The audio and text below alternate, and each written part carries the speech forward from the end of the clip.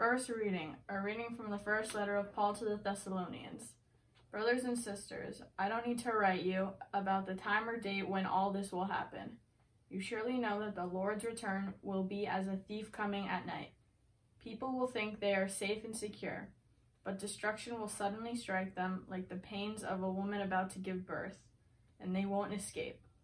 My dear friends, you don't live in darkness, and so that day won't surprise you like a thief. All of you belong to the light and live in the day. We don't live in the night or belong to the dark. Others may sleep, but we should stay awake and be alert. The word of the Lord.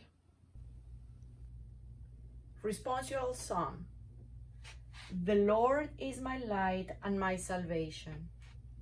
You, Lord, are the light that keeps me safe. I am not afraid of anyone. You protect me, and I have no fears. The Lord is my light and my salvation. Lord, I know I will live to see how kind you are. Trust the Lord. Be brave and strong and trust the Lord. The Lord is my light and my salvation.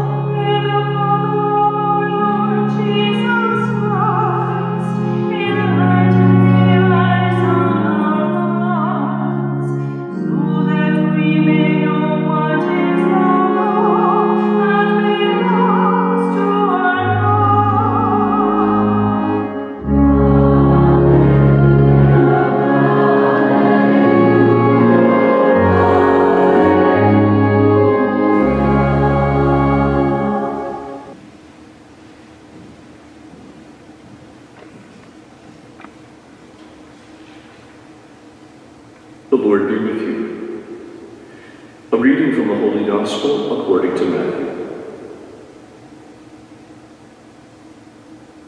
Jesus told his disciples this story about the kingdom of God. The kingdom is like what happened when a man went away and put his three servants in charge of all he owned. The man knew what each servant could do.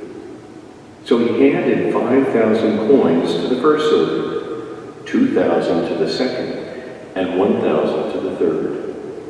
Then he left the country. Some time later, the master of those servants returned. He called them in and asked what they had done with his money. The servant who had been given 5,000 coins brought them in with the 5,000 coins he had earned.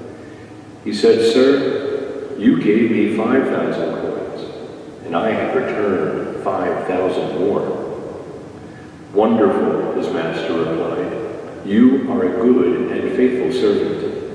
I left you in charge of only a little, but now I will put you in charge of much more. Come and share in my happiness. The Gospel of the Lord.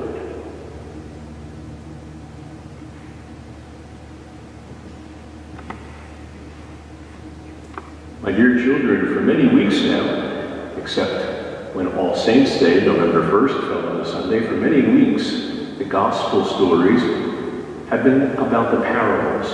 The parables Jesus told us about what the kingdom of God is like, what heaven is like. Today is the last one. Next week, the last week of our liturgical year, we honor Christ our King. And we'll have a whole different story on that day.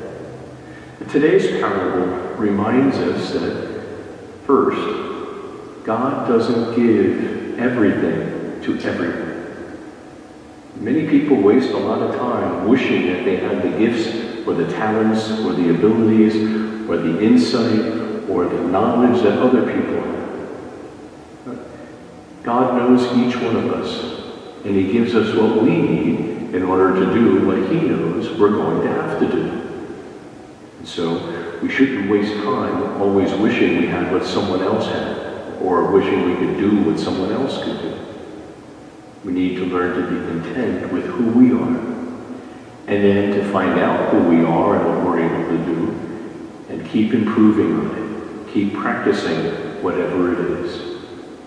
It's why going to school, trying out for sports, trying out for teams, trying other organizations and groups and so on, it's always important to try. And when you find out you're able to do something and you like something, we believe that's the sign that God gives us that says, this is the way we should go. I've shared with you before how when I was a little boy, I was active in church things. And the more I kept doing it, the more I kept realizing that's what God wanted me to do with my life, and I became a priest. Other people, they learn about medicine, or they learn about carpentry, or they learn about other skills, and they keep using them, practicing them, and that's how God lets them know what they're supposed to do in the world. As you continue in your studies, whether it's in school or virtually, as you continue in your religious studies, whether it's coming here or on Zoom or in homeschooling, always keep an open mind and heart to what God might be trying to teach you by what you're able to do and even by what you're not able to do. And don't get disappointed when you can't do something because maybe that's God's sign saying you need to look in another direction and go in another way.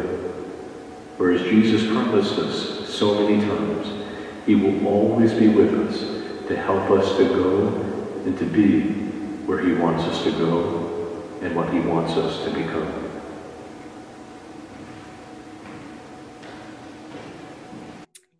Now we'll say the Apostles' Creed together. I believe in God, the Father Almighty, creator of heaven and earth, and in Jesus Christ, his only Son, our Lord, who was conceived by the Holy Spirit, born of the Virgin Mary, suffered under Pontius Pilate, was crucified, died, and was buried. He descended into hell. On the third day, he rose again from the dead. He ascended into heaven and is seated at the right hand of God the Father Almighty. From there, he will come to ju- judge the living and the dead. I believe in the Holy Spirit, the Holy Catholic Church, the communion of saints, the forgiveness of sins, the resurrection of the body, and life everlasting. Amen. Amen. Amen. As children of the light and of the day, we seek God's help to eliminate every form of darkness. When I say we pray, you say, Lord, hear our prayer. For examples of courage and for loving wisdom from our church leaders, we pray. Lord, hear our prayer. For our government leaders to focus on the future. For a true and lasting peace based on justice and the freedom to worship, we pray. Lord, hear our prayer. For people caught in conflict and war, for family members trying to keep peace, and for those who are lonely, we pray. Lord, hear our prayer. For all who gather at Children's Liturgy of the Word, for all who need strength from the Holy Spirit, may we use all the gifts and talents God has given us to serve others, we pray. Lord, hear our prayer. For the needs listed in our parish prayer book, for those serving in the military and the missions, for all who need our prayers, we pray. Lord, hear our prayer. If you have people you would like to pray for, please do that now.